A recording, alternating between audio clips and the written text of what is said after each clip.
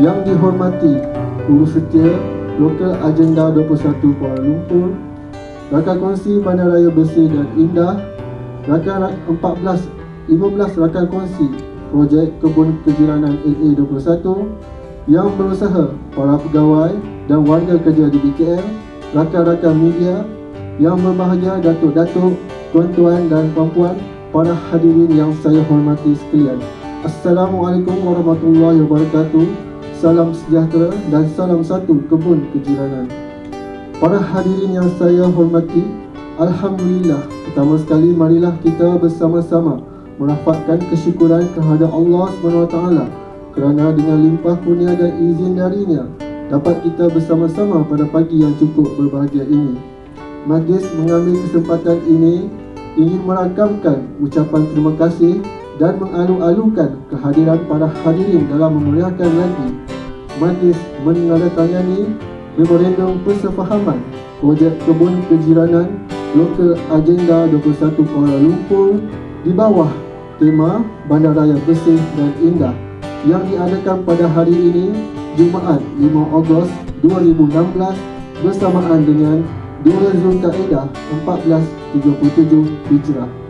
Baiklah, para uh, pada pagi yang berbahagia ini dapat kita berkumpul bagi tujuan menandatangani MOU projek kebun kejiranan lokal agenda di Kuala Lumpur ini dan uh, terima kasih saya ucapkan terutamanya kepada Yang Berbahagia Datuk Seri, Datuk Bandar kita atas kesudian beliau menghadiri uh, program kita pada hari ini uh, walaupun beliau agak sibuk tapi dapat meluangkan masa uh, bersama-sama dengan kita.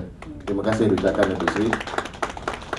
Dan uh, saya juga ingin memanjangkan uh, ribuan terima kasih saya kepada semua rakan kongsi lokal agenda terutama bagi projek ini yang uh, telah banyak orang kata mengorbankan, masa, tenaga ya dan juga mungkin sebahagian wang ringgit bagi tujuan menjayakan ya program lokal agenda 21 Kuala Lumpur ini. Uh, untuk makluman semua bahawa projek ini merupakan salah satu projek yang ada di bawah tema Bandaraya Bersih dan Indah. Dan di bawah program Bandaraya Bersih dan Indah, kita ada lebih kurang 12 projek sekarang ini yang telah berlangsung. Dan di bawah projek ini pula uh, kebun kejiranan ini kita ada 12 pula sub projek ya. Uh, so kalau 12 kali 12 dah 144 projek yang perlu saya lihatlah ya bagi program tema bandaraya bersih dan indah ini. Jadi uh, kita amat bersyukur juga kerana projek ini bertujuan untuk menghidupkan semula persekitaran kita ya dari segi kebersihannya dari segi keindahan. Dan dengan adanya projek kebun ini satu ia beri manfaat kepada kita terutama dari segi uh, mungkin ya kerjasama di antara penduduk ya antara penduduk antara NGO dan juga rakan kongsi yang ada